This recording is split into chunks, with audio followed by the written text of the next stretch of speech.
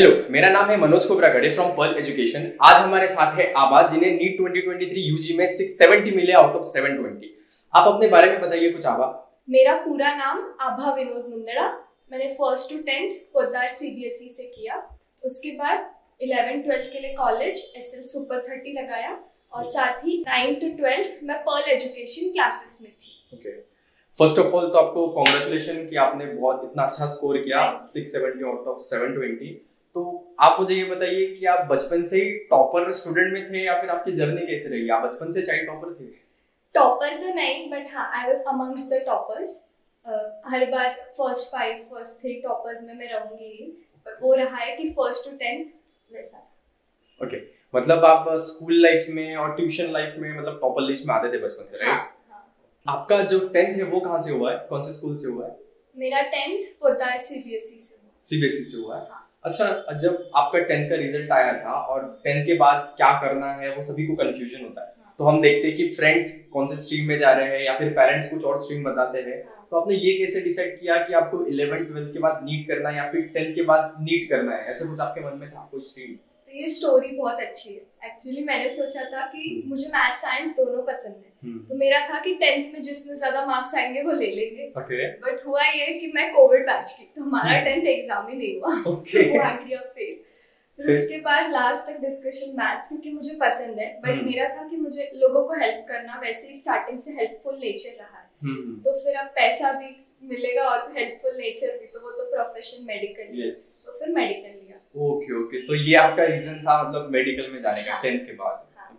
ये आपकी जर्नी रही है टेंथ के बाद क्यों आपको मेडिकल करना है राइट हाँ। अब जैसे कि आप इलेवन ट्वेल्थ में आपने नीट का प्रिपरेशन किया था तो इस प्रिपरेशन की जर्नी में जो है ऑब्वियसली सबके बैकलॉग्स होते हैं। तो एज अ टॉपर क्या आपके भी इलेवेंथ स्टैंडर्ड में बैकलॉग थे? क्योंकि जैसे कोई भी नॉर्मल पर्सन जब पढ़ता है तो इलेवेंथ उनका बैकलॉग्स बहुत सारा हो जाता है। तो आपके साथ भी ऐसे हुआ था? अगर हुआ भी था तो उसने आ, कोप अप कैसे किया उसको? ये बता दीजिए तो ये अनयूजुअल है हम्म। लेकिन मैं पहले से हर क्लास अटेंड करी। जिसकी वजह से कोई चैप्टर रह गया या हम्म। बैकलॉग रह गया ये हम्म। नहीं है। हर एक जन पूछता है बैकलॉग रहा? कैसे किया? हाँ। मेरा नहीं था तो मुझे नहीं पता। ओके आपका बैकलॉग नहीं था? नहीं ओके मैंने तो क्लासेस अटेंड मत- एक या दो ही मिस करी होगी। मतलब आपने एक दो ही क्लास मिस की है मतलब हाँ। आपका केस तो काफ़ी यूनिक है। हाँ अनयूजुअल बोलेंगे या अब जैसे कि आपने बोला कि आपका बैकलॉग तो नहीं था तो आप कोई पर्टिकुलर बुक्स यूज़ करते थे या फिर जहाँ पर्ल एजुकेशन में आपको कुछ कंटेंट प्रोवाइड किया जाता था उसकी भी आप मदद लेते थे या फिर कौन कोई पर्टिकुलर बुक यूज़ करते थे आप बताना चाहोगे? तो पर्ल एजुकेशन से जो हमें मॉड्यूल्स मिलते थे वो हम्म। काफ़ी अच्छे हैं। तो वो मॉड्यूल्स अगर करो उसके एक्सरसाइजेस तो काफ़ी फ़ायदा होता है। और साथ ही साथ टीचर्स ने कुछ बुक्स बोली थी हम्म। जैसे M T G finger tips है हम्म, डीसी पांडे है फिजिक्स के लिए हम्म, वो सब मैंने सॉल्व करी थी। सॉरी और जैसे कि मैं काफ़ी सुनता हूँ कि ये बुक्स तो करना बहुत अच्छी बात है लेकिन नीट में जो है एनसीईआरटी बेस ज़्यादा आता है। तो क्या आपने एनसीईआरटी में ज़्यादा फोकस किया या फिर जो आपने बुक्स बताया उसमें आपने ज़्यादा फोकस किया? एनसीईआरटी पे फोकस करना ये मुझे ऑलमोस्ट इलेवेंथ एंड में पता चला।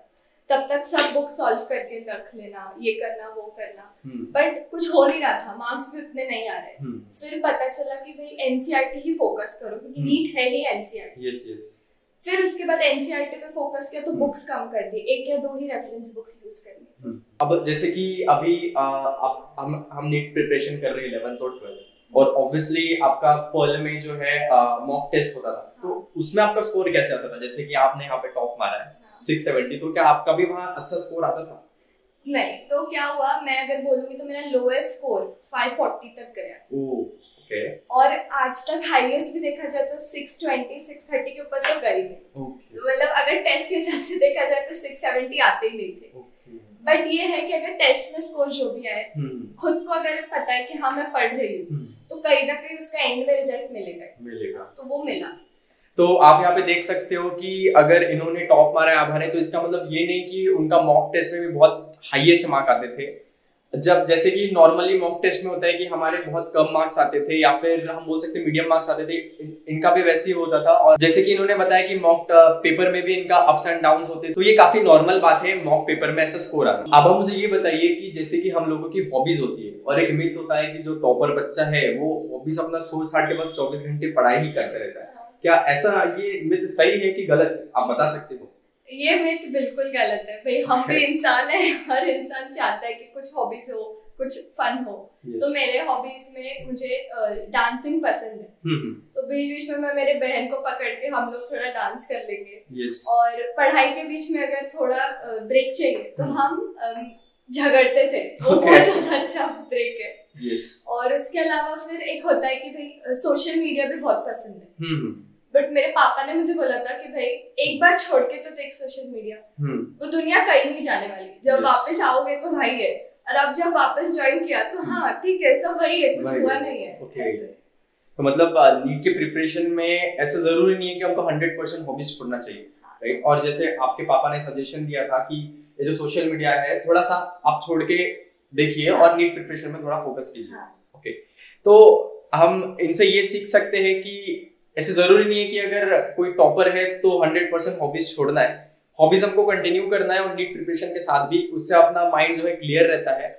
और हाँ इनसे हम ये एक टिप ले सकते हैं कि जैसे हम कुछ देर के लिए नीट प्रिपरेशन जब हमारा होता है पेपर्स तो हमें थोड़ा सोशल मीडिया छोड़ देना चाहिए ताकि हमारा फोकस जो है नीट प्रिपरेशन में लगा रहे। तो हाँ ये हम इससे सीख सकते हैं। आभा आपको तो पता ही होगा कि जैसे हम टाइम टेबल बनाते हैं बचपन से और वो फॉलो नहीं हो पाता है। तो क्या आपके साथ भी ये इलेवन ट्वेल्थ में जो प्रिपरेशन किया उसमें भी ऐसी होता था क्या जैसे कि आप टाइम टेबल बनाते थे तो क्या आप फॉलो कर पाते थे उस टाइम टेबल को नहीं पहले okay. चार पाँच टाइम टेबल बनाए सब ऐसे ही पड़े रहेंगे क्योंकि फॉलो हम्म। नहीं हो पाता है हम्म। चार दिन करोगे पाँच दिन करोगे हम्म। बाद में यही होता है कि भाई अब नहीं हो रहा हाँ. बीच में कुछ हो जाएगा या ऐसे बट फिर है कि जैसे जैसे टाइम आगे बढ़ता है एग्ज़ाम पास आते तो हाँ भाई करना है टाइम टेबल फॉलो तो उसके बाद थोड़ा टाइम टेबल फॉलो किया किया हाँ. मतलब जैसे कि नॉर्मल हमारे साथ भी होता है कि जैसे हम टाइम टेबल बनाते हैं हंड्रेड परसेंट फॉलो नहीं कर पाते तो ऐसे ज़रूरी नहीं है कि मतलब टॉपर्स है तो hundred percent time table follow करते ही होंगे राइट हाँ. तो मतलब आप ऐसे बोलना चाह रहे हो कि जैसे एग्ज़ाम पास पास आती है तो टाइम टेबल फॉलो करना थोड़ा इजी हो जाता है प्रेशर। के कारण हाँ. ओके uh, क्या आप टिप देना चाहोगे कि हमें टाइम टेबल फॉलो करना चाहिए या नहीं या फिर मैक्सिममली उस टाइम टेबल को फॉलो करना चाहिए या नहीं आप बता सकते हो मैं बोलूँगी टाइम टेबल बनाओ बट उसमें कुछ ऐसे रखो एक्स्ट्रा पार्ट्स ताकि अगर उस टाइम में नहीं भी हो फॉलो तो उस बाकी टाइम में तुम कवर अप कर सको होता है कभी कभी मन नहीं लग रहा है yes. पढ़ाई में hmm. तो हम क्या करेंगे एक्स्ट्रा hmm. जो टाइम है फिर उसको थोड़ा सा कम हॉबी करके पढ़ाई में ले लेंगे hmm. क्योंकि इस सब में प्राइम फोकस पढ़ाई है एजुकेशन ने जो है आपको नीट यूजी प्रिपरेशन में हेल्प किया ही होगा आप मुझे ये बताइए कि यहाँ पे जो है यूनिक फीचर क्या था? फॉल एजुकेशन का यूनिक फीचर क्या है? ऐसे कुछ आप बता सकते हो? एक तो मैं बोलूँगी पर्सनल अटेंशन okay. क्योंकि बच्चे हम बहुत कम है तो टीचर हर एक पे ध्यान देता है। हर एक का एक एनालिसिस देगा कि भाई हम्म। तुम्हारा ये पार्ट वीक है तो तुम इस पे ज़्यादा ध्यान दो। हम्म। हाँ ठीक है ये पार्ट स्ट्रॉन्ग है इस पे मत करो ज़्यादा। हम्म। तो पर्ल में एक बैच में twenty five to thirty students ही। है जिसकी वजह से हम सब पे टीचर पर्सनली अटेंशन दे पाता है। कि कौन सा पॉइंट वीक है कौन सा पॉइंट स्ट्रॉन्ग है जिसपे हम काम कर सके। ओके okay, मतलब कि एक बैच में 25 से 30 स्टूडेंट होते हैं जिनके जिस जिसके कारण यहाँ पे पर्सनल अटेंशन आपको अच्छा मिलता है हाँ. Okay okay. और यहाँ पे डाउट क्लियरिंग सेशन होता था क्या? जैसे कि हम ऑब्वियसली वन गो क्लास में 100 परसेंट किसी को नहीं समझता है। तो जब डाउट्स आते थे तो अलग से कोई डाउट सेशन होता था यहाँ पे? क्लास के बाद तो हमेशा टीचर्स अवेलेबल ही है। कोई भी डाउट हम्म। के लिए जाओ कभी भी जाओ वो लोग रहेंगे। और इवन क्लास में अगर कोई वर्कशीट होमवर्क भी आज हम्म। तो कल पहले लेक्चर में आपके हाफ़ एन आवर वो डाउट सेशन ही लेंगे हम्म। कि उस वर्कशीट में क्या डाउट है उसके बाद आगे का पढ़ाता है जैसे कि यहाँ पे डीपीपीज वगैरह दिए जाते होंगे ऑब्वियसली तो अगर कुछ बच्चे जो है वो ऑब्वियसली करके नहीं आते थे हाँ। तो आपके भी साथ कभी कभी ऐसा होता होगा कुछ क्वेश्चन रह जाते होंगे कुछ टाइम मैनेजमेंट के कारण तो उस क्वेश्चन का यहाँ पे मतलब टीचर्स क्या करते थे यहाँ का मेन यही है अट्रैक्शन कि भाई ये लोग करवा के लेते हैं ओके मतलब मैंने नहीं किया ना तो हाँ. सर बोलेंगे नहीं क्लास के बाद यहाँ रुको एक घंटा अभी करो okay. मैं बैठा हूँ चेक करूँगा Okay. तो उसकी वजह से क्या होता है हाँ मन से भी लगता है हाँ भाई टीचर करवा रहा है तो मैं भी करती हूँ हाँ. मुझे तो सिर्फ़ करना है टीचर तो yes. तो बैठा भी है yes. तो इसीलिए ओके okay, मतलब यहाँ पे जो है कुछ क्वेश्चंस मतलब करवा के लेते थे राइट हाँ. अब आप मुझे ये बताइए कि यहाँ आपके टेस्ट पेपर्स होते थे तो उसका एनालिसिस आपको कैसे पता चलता था तो यहाँ पे पीटीएम होते थे ऑलमोस्ट फिफ्टीन डेज़ में एक बार। हम्म। ताकि टेस्ट में क्या हुआ ये पता चलता। है पेरेंट्स हम्म। को भी बुलाते थे तो हम्म। मतलब हमें भी पता चलता है कि हाँ भाई पेरेंट्स चेक रख रहे हैं तो हमें हाँ। पढ़ना है। साथ ही साथ पीटीएम में मोटिवेशन कि भाई कम आ रहे हैं मार्क्स कोई बात नहीं तुम कर सकते हो। एक होता है कि अंदर से तुम्हें झील मिलता है yes, कि हाँ हमें करना है। तो वो मदद होती है। ओके okay, मतलब यहाँ पे जो है टेस्ट के बाद पीटीएम होता था जिसमें आपको मोटिवेशन भी मिलता था और पेरेंट्स चेक करते थे आपका रिज़ल्ट तो थोड़ा सा आपको मोटिवेशन और भी मिलता था कि आपको और भी अच्छा स्कोर करना चाहिए जैसे कि आपने बताया दो साल की जर्नी आपकी ऐसी ऐसी रही है तो अब एग्ज़ाम का दिन आया उसके एक दिन पहले जो प्रेशर होता है या फिर उसमें आपको पैनिक का सिचुएशन ऐसे कुछ लगा या फिर आपने उस प्रेशर को हैंडल कैसे किया एग्ज़ाम के एक दिन पहले की मैं बात कर रहा हूँ एग्ज़ाम के एक दिन पहले पैनिक हम्म। बहुत ऑब्वियस है बट हम्म। ये है कि मुझे फैमिली टाइम पसंद है हम्म। उसकी वजह से एग्ज़ाम के पहले हमने डिसाइड किया था कि सब लोग साथ ही बैठेंगे मुझे कोई अकेला नहीं छोड़ेगा okay. और ऐसे कुछ एक्टिविटीज़ ढूंढे जिससे माइंड ऑक्यूपाइड हो ताकि जो नेगेटिव थॉट्स होते हैं yes. अरे मुझे याद नहीं आ रहा यही आने वाला है पेपर में होता है yes. तो वो नहीं आए तो मतलब जैसे मैंने कोई गाने का लिरिक लर्न किया था ताकि हम्म। कुछ माइंड ऑक्यूपाई रहे और हमें ज़्यादा थॉट्स ना आए ओके okay. ये आपने बहुत अच्छा मेथड बताया कि एग्ज़ाम के एक दिन पहले हमारे माइंड को कैसे कोप अप करना है जैसे कि हमने सुना कि आभा एग्ज़ाम के एक दिन पहले क्या क्या करती थी तो आभा क्या आप बता सकते हो कि कुछ ऐसा मेथड या फिर एग्ज़ाम के एक दिन पहले जो हेल्प करे? मैं बोलूँगी एक तो कि जो तुम्हें टॉपिक आता है और तुम कॉन्फिडेंट हो उसकी नोट्स पढ़ो।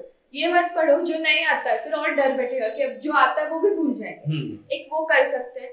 दूसरा ये कि कोई मंत्र या श्लोक बोलो ताकि वापस थॉट्स बुरे ना आए। और तीसरा भी कि फैमिली के टाइम स्पेंड करो। अपने साथ थोड़े गुड पीपल रखेंगे जो। आपको सपोर्ट करते हैं। तो उससे हमारा भी पावर जो है बना रहता है। नीट एग्ज़ाम का जो एक दिन पहले होता है तो उसमें हमें बैठ के आपके हिसाब से नोट रिवीजन करना चाहिए या फिर थोड़ा हमें फ्री रहना चाहिए उस दिन? हमें बिल्कुल नहीं पढ़ना चाहिए। क्या आप उस बारे में कुछ बता सकते हो? ये तो नहीं कि बिल्कुल नहीं पढ़ना बट हाँ ऐसे पूरा दिन सिर्फ़ बुक लेके बैठे हुए ये नहीं करना। हम्म। क्योंकि बहुत सब साथ में आ जाए तो फिर कुछ याद नहीं रहता। Exactly.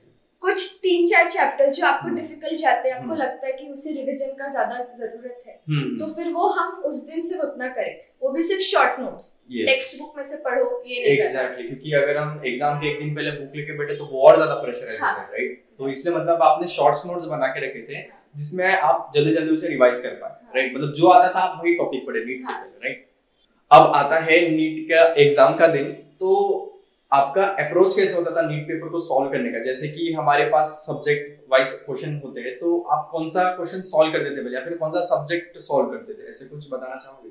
मैं बोलूँगी मैंने पहले बायो किया हम्म। क्योंकि करना भी चाहिए बायो वो ऑलमोस्ट फिफ्टी परसेंट मार्क्स तुम्हारे उसी में हम्म। बाकी दो सब्जेक्ट अलग है बट एक सब्जेक्ट में फिफ्टी परसेंट मार्क्स है। इसलिए पहले बायो और फिर केमिस्ट्री और लास्ट में फिजिक्स क्योंकि फिजिक्स में सॉल्विंग है yes. तो उसके लिए थोड़ा सा माइंड ऑक्यूपाई हो जाता है hmm. ताकि स्टेटमेंट अगर फिर इसीलिए बायोकेमिस्ट्री पहले कर लो तो hmm. बाद में सॉल्व हम करने में आसानी रहेगी और एक की जो टेस्ट सीरीज़ होते हैं या मॉक hmm. टेस्ट होते हैं Yes. उसमें हमें एक्सपेरिमेंट करना चाहिए hmm. कि हो सकता है किसी को बायो नहीं पसंद है hmm. या नहीं आ रहा है yes. तो फिर पहले तुम केमिस्ट्री ट्राई करो क्या hmm. तुम्हारा उससे स्कोर अच्छा आ रहा है. ये एक टिप मैं okay.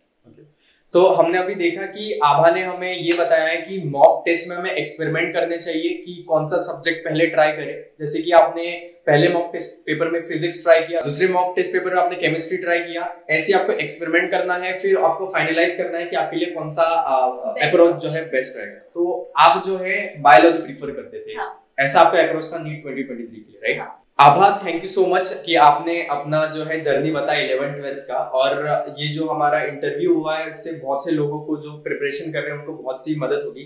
लेकिन आप इस जर्नी में किन लोगों ने आपकी मदद की पॉजिटिव एटीट्यूड बनाए रखने के लिए क्या आप कुछ शेयर करना चाहोगे? सबसे पहले तो मेरे मम्मी पापा और मेरी बहन हम्म। ये तीनों पूरे दो साल मेरे साथ ही रहे। कहीं बाहर नहीं जाना ताकि उसको ना लगे रहे मैं मैं नहीं जा पा रही हूँ। हम्म। तो इन लोग को उसके बाद नाना नानी दादा दादी yes. हमेशा ब्लेसिंग्स होता है कि भाई तू कर सकती है hmm. ऐसे और पर्ल एजुकेशन यहाँ के सभी टीचर्स बहुत अच्छे हैं वो. हमेशा यही चाहेंगे कि तुम बेस्ट करो तो मतलब इस जर्नी ने आपके पेरेंट्स आपकी फैमिली ने बहुत ज़्यादा सपोर्ट किया है। पर्ल एजुकेशन के जो टीचर्स है उन्होंने भी आपको काफ़ी मोटिवेटेड रखा है। ये सब लोगों ने आपकी नीट यूजी प्रिपरेशन के लिए आपका माइंडसेट अच्छा बनाने के लिए आपकी बहुत ज़्यादा हेल्प की है right so thank you so much Abha आपने जो है अपना एक्सपीरियंस शेयर किया ताकि जो प्रिपरेशन कर रहे हैं उनको बहुत ज़्यादा मदद मिलेगी। Wish you all the best for your future